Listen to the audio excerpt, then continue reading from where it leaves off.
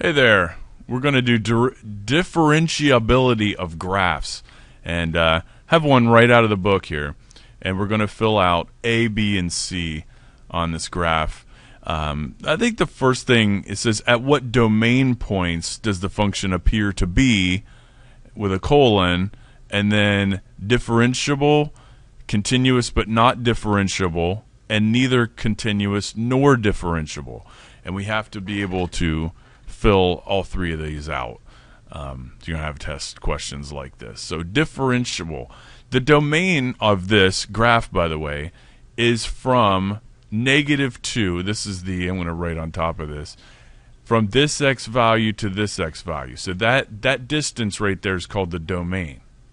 Obviously, don't write that down. You'll gunk up your graph, but you can see that that's what a domain is. It's these x values. x values. All right, so from what x values does that go to? Well, it goes from negative 2 to 3. So we would say uh, at what domain points does the function appear to be differentiable? Well, we could say basically every point where it's not continuous or where it has things like a corner or a cusp or something like that. So we could say all all points in negative 2 to 3.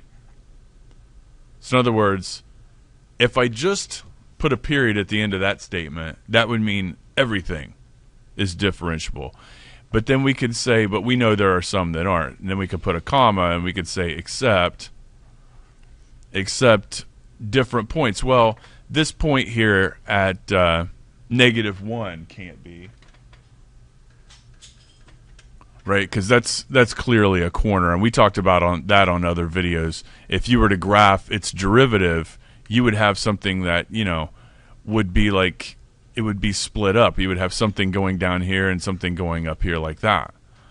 Um, actually, it would be more like this and this. Okay, so this this derivative graph of the green stuff here is broken, and that that's a point where it's not differentiable. So we could say except where x equals negative 1. Now, where else? Well, this is clearly split here, so that wouldn't be good. The limit, the one-sided limits, if you're thinking about why this works, and you get somebody asks the question, well, what does this mean?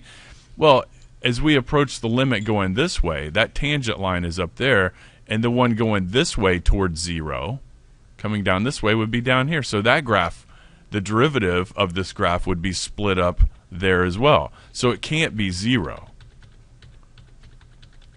And back up in time there. So zero's no good. And what else? Well, here, this is clearly not continuous. So where these graphs are not continuous, they're not differentiable. Okay, so like that. So this is this is another point where it can't be. So 2. So that would be the answer to A. Now, what about B? Where is this graph? Where does the domain points appear to be continuous but not differentiable? Okay.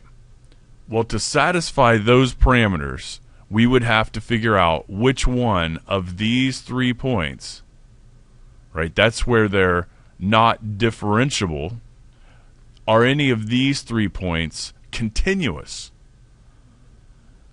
Well, right. The negative 1 is in fact continuous. This graph goes down here, stops what appears to be right there, and goes back up. That is a corner, but it's continuous. So we would say at x equals negative 1. Now let's check the other two. Is it continuous here at 0? Well, no, because it's up, you know, one end is up here and one end is down here, and by definition, from the limits, it's got to be the same on both sides. Here, it's it you know meets, and two certainly this is a removable discontinuity. Okay, so this is uh, this is a no. So it's just this answer here. So let me circle the answers. Okay, and finally, C. Where on the domain does this function appear to be neither continuous nor differentiable? All right, so this one, neither continuous nor differentiable, would have to be this point right here at 0 and this point right here. So this would be um, where x equals 0 and x equals 2. It's kind of like, if you're doing this for the first time, it's kind of like these points here are part of the answers to these two questions, if that makes sense. Because this asks, is it continuous but not differentiable? And this says neither continuous nor differentiable. So it kind of accounts for all of them. That's it. Have a good one.